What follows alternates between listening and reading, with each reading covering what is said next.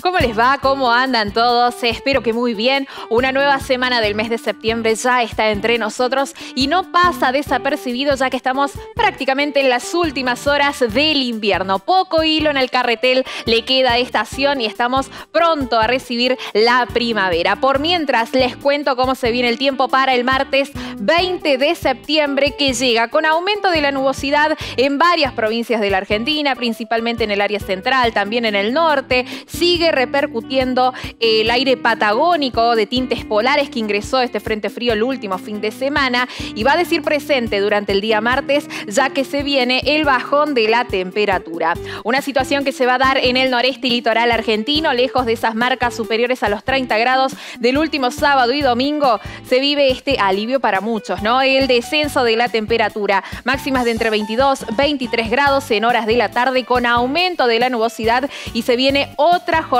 inestable para todas las provincias de esta región, tal como les decía, con el viento del sector sur como gran, gran protagonista. En el área central, nuevamente el viento del sector sur vuelve a ganar terreno, un poco molesto, con ráfagas eh, un poco intensas en la provincia de La Pampa durante gran parte del día y en el suroeste de la provincia de Buenos Aires. Aumento de la nubosidad en toda la región e inestabilidad en la provincia de Entre Ríos, en Santa Fe y en la provincia de Córdoba, con chance de chaparrones, de lloviznas durante gran parte del martes. Es más, se vive este descenso de la temperatura con ambiente fresco a frío durante la mañana, con mínimas que van a ir entre los 5 los 9 grados y máximas que no van a estar superando la barrera de los 20 grados. En la zona alta de montaña de la provincia de Córdoba, es decir, las altas cumbres, no se descarta la probabilidad de algunos copitos de nieve durante el 20 de septiembre.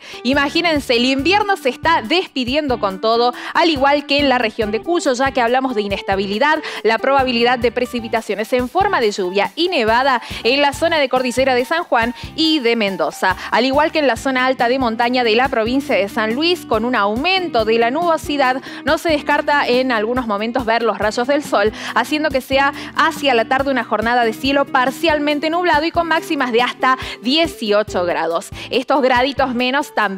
se van a em, representar en las provincias del noroeste argentino, donde en el oeste, abarcando a Jujuy, a Salta, también a la provincia de Catamarca y de La Rioja, el viento sonda va a decir presente en la zona alta de montaña. Hay alerta por fuertes ráfagas, alerta amarilla con ráfagas que pueden superar los 100 kilómetros por hora. En tanto, otra situación en la franja central y en el este de estas provincias, ya que hay aumento de la nubosidad, inestabilidad durante gran parte del día y el viento del sector sur que hace este bajonazo de la temperatura con máximas que pueden llegar hasta los 19 grados. Nos vamos a la Patagonia para ver cómo va a despedir el invierno, el último día invernal en el centro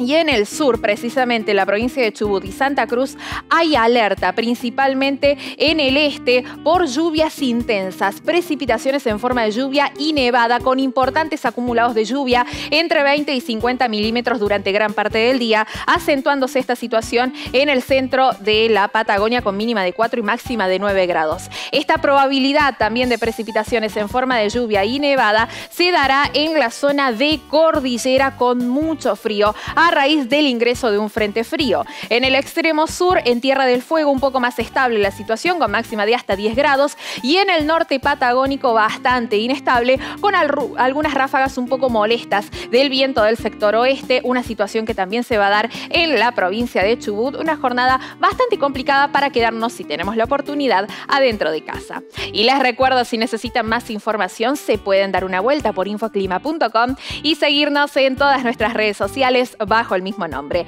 Yo los veo la próxima, muchísimas gracias y que estén todos muy bien.